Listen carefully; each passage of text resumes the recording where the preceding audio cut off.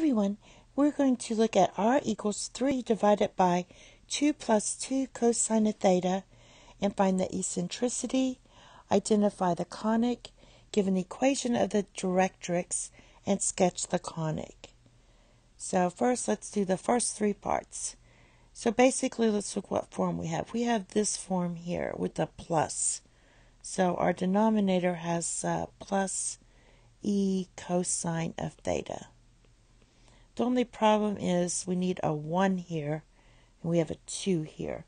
So let's fix that. We're going to write this as r equals 3 divided by 2 plus 2 cosine of theta.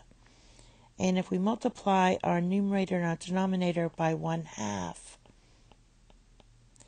that's going to let me have 3 halves divided by 1 plus cosine of theta. All right, that means there's a 1 here. That means my uh, E equals 1. So we found the eccentricity is 1. That means it's a parabola.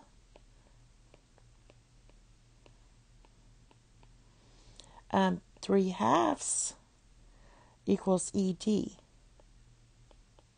This ED part right here. And with um, E equals 1, we're going to get 3 halves. This is going to be 1, so we just get 3 halves equals D.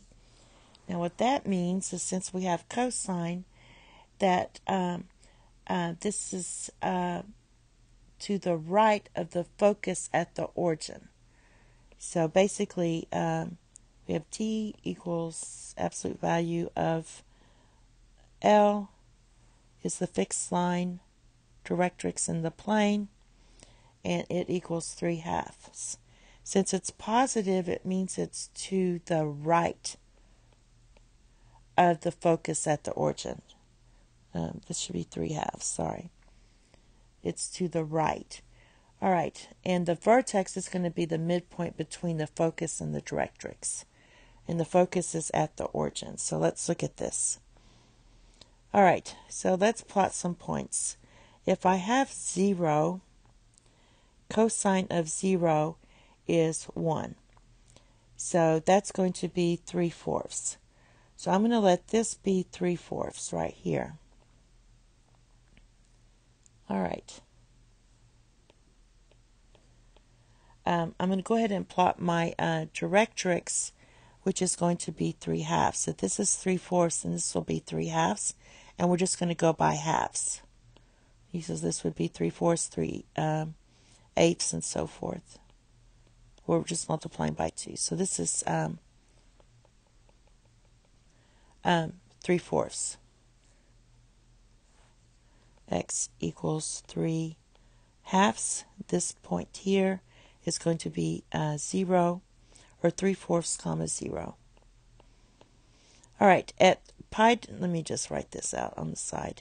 At uh, pi divided by 2, we get 0, so that's going to be 3 halves. Um, 3 halves is going to go out 2. 1, 2. So this is 3 halves. And 3 pi divided by 2 is also going to be 3 halves. Because it's just going to be 0 here. So at 3 pi divided by 2, we're at 3 halves. That means I'm going out 2. All right. So it's going to open to the right like this because our directrix is here. It has to open away from the directrix. So opens to the right. There's your graph. This is your origin. What else do I need to write? These are your points. For example, you would write this as uh, zero. Um, you would write this as three fourths comma 0 in polar form. Um, uh, also, this is our vertex because it is the midpoint between our directrix and our origin. So it is the midpoint very clearly. And that's it. Thank you. Have a nice day. Bye bye.